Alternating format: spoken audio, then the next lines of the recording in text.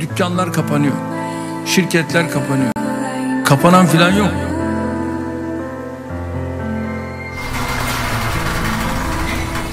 Bütün bu pandemi krizinin faturası geldi, esnafın üzerine yıkıldı.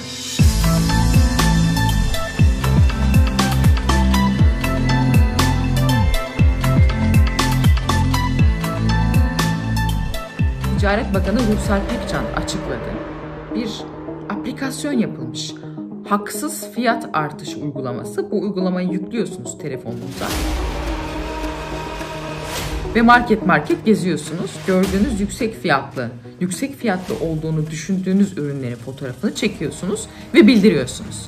Devlet de gidiyor, esnafın tepesine biniyor. Böyle bir uygulama var. Esnaf da diyor ki, yahu yüksek fiyatların sorumlusu biz miyiz? Biz de hak değil miyiz? Biz de insanız. 600 tane vekil var. 600 vekilin aldığı maaşın yani onda birinde bu halka dağıt.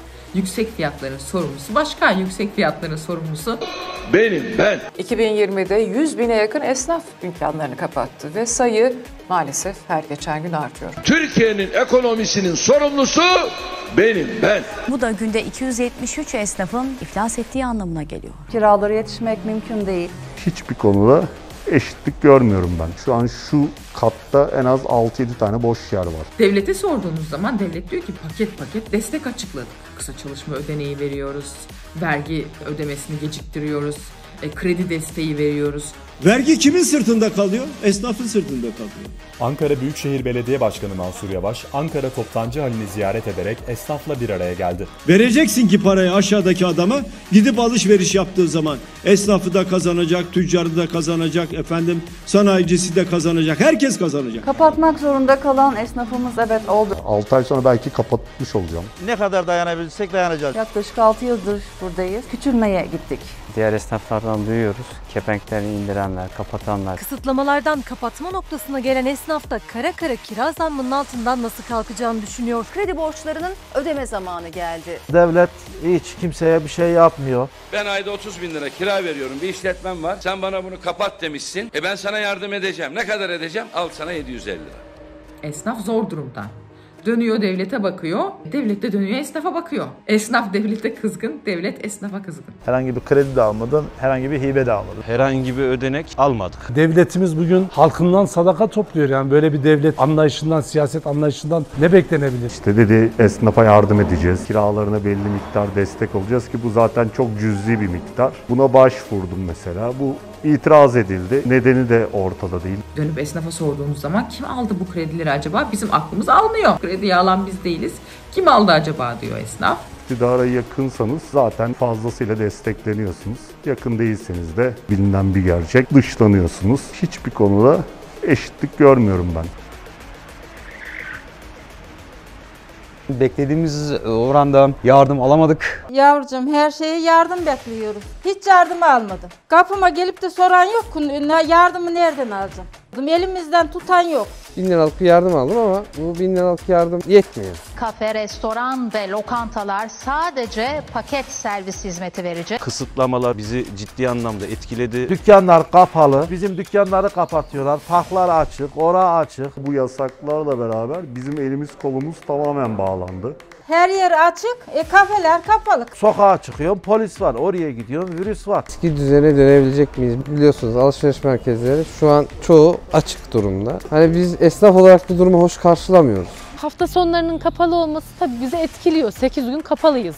Kayınpederinin 2023 hedeflerini çöpe atan damat bakan oralı değil ama çarşıda, pazarda, mutfakta yangın var yangın.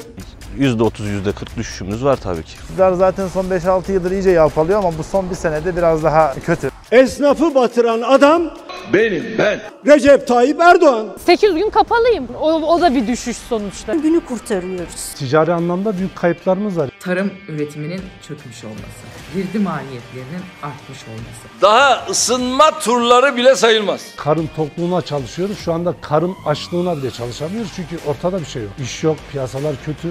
Lojistiğin çok pahalı olması, vergilerin artmış olması. Asıl büyük ataklarımızı inşallah önümüzdeki dönemde gerçekleştireceğiz. İşlerimiz çok kötü, iş yok. Çoğu zaman e, siftah yapmadan gidiyoruz. Siftahsız kapattık. Maddi kayıp çok büyük. %80 işimizin düştüğünü söyleyebilirim. Üçte bir oranında diyebilirim. Bir buçuk yıldır neredeyse hiç işimiz olmuyor.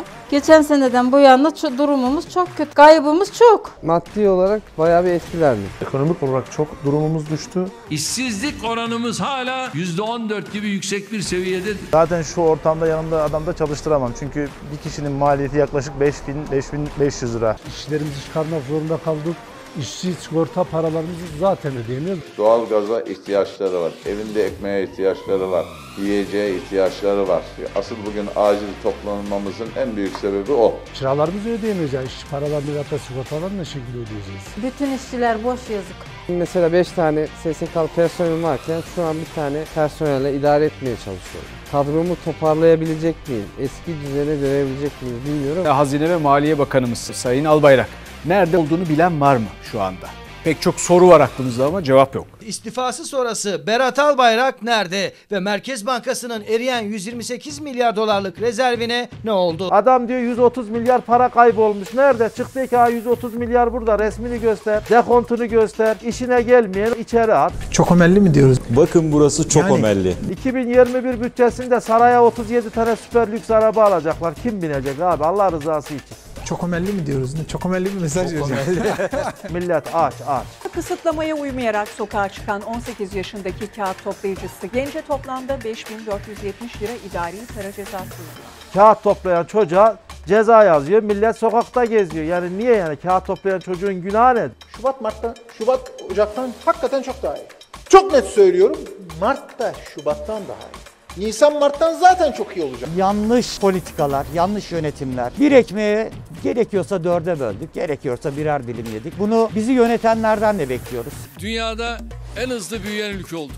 Onlar da paylaşsalar keşke. Yönetimin yanlış olması, verilen eksik bilgiler ve yalan beyanlar bizleri üzüyor ve daha da mutsuz ediyor maalesef. Verdiğimiz bilgi bu. Türkiye için açıklanan vefat sayısının Günlük hasta sayısı olarak verdik. en az 50 kadar fazlası sadece İstanbul'da var. Bu kadar net. Üzücü bir durum. İnsanlarımız oy vermişse bunun karşılığı olarak emek ve hizmet ister. Şu anda emek veyahut da hizmet yok ki. Devletimiz bugün halkından sadaka topluyor. Yani böyle bir devlet anlayışından, siyaset anlayışından ne beklenebilir? Biz devletimizin var olmasını, ayakta kalmasını istiyoruz. Yüksek fiyatların sorumlusu biz değiliz diyor esnaf. Ama kendini dinletemiyor. Esnafı devlet dinlemiyor. Hiçbir konuda eşitlik görmüyorum ben. Bizim ülkemiz halkına IBAN atıp para istiyor. Yakında Sayın Erdoğan kürsüye çıkıp çilekeş yapan esnafı için yardım kampanyası başlatıp İban isterse şaşırmayın. Milli Dayanışma kampanyası başlatıyoruz. 2023'te Cumhurbaşkanı adayımız Sayın Recep Tayyip Erdoğan'dır. Beni Cumhurbaşkanına çıkarır mısın? Sesimizi duyur yavrucuğum olur mu? Biraz bana abartılı gel. Çok kötü krizdeyiz. Biraz bana abartılı gel. Borcu olmayan tek bir esnafa rastlamadım. Esnaf kirasını, elektriğini, doğalgazını, vergisini, çalışanının parasını, kredisinin taksidini ödeyecek, kendi cebine para kalacak. Onunla da ailesine bakacak. Ödemelerimiz falan çok gecikti. Kredi borçlarımız ödeyemiyor. Şubat, Ocak'tan hakikaten çok daha iyi. Mesela buranın elektriğini iki faturada ödemediğiniz zaman üçüncü faturada kesmeye geliyorlar. Çok net söylüyorum, Mart'ta Şubat'tan daha iyi. Doğalgaz faturanızı ödemediğiniz zaman kesmeye geliyorlar. Nisan, Mart'tan zaten çok iyi olacak. Borç alalım diyoruz. Güven olayı bile yok şu anda. Kimse kimseye borç bile vermiyor. Bankalar bile şu anda kredileri kısıtladı. Yaşananlar esnafı büyük bir karamsarlığa itmiş durumda. Devletten gereken desteği görmediklerini belirten esnaf, kendilerini umutsuzluğa ittiğini söylüyor. Erdoğan 2023'te Ay'a gideceğiz dedi. İnşallah Ay'a gidiyoruz. Psikolojimiz bozuk. Psikolojik deli olduk. Çok omelli mi diyoruz? Parasal kayıplarımız var, psikolojik kayıplarımız var. Her şeyden önce manevi kaybımız var. Geçen seneyle eğer kıyaslarsak daha mutluyduk. Maalesef durumumuz hiç de iyi değil. Mutsuzluk ama bu sene daha da mutsuzuz. Ay'a gidiyoruz. Gelen müşterilerimiz mutsuz. Ay'a gidiyoruz.